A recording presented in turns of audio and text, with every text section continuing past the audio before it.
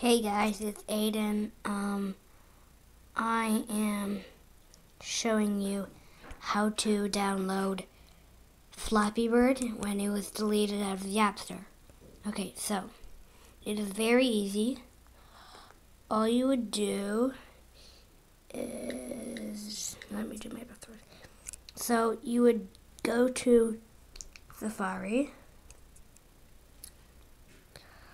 Um, you would type in right there, type in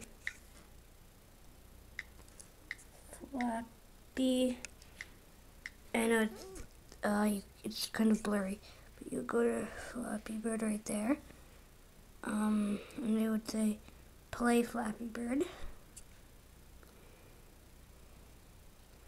And then your Flappy Bird, you can play it, but I'll tell you how to add it, get it, like so it would be in your home screen and you could just tap that.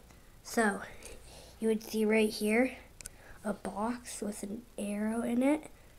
So you click that and right there would say add to home screen.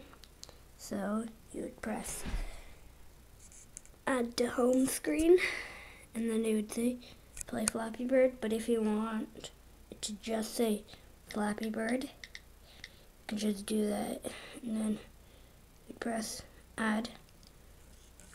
And then set your home screen right there and you would go on.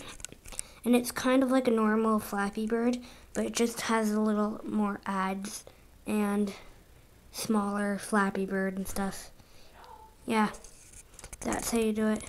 See ya if you like this subscribe and if you have any questions leave a question below See ya.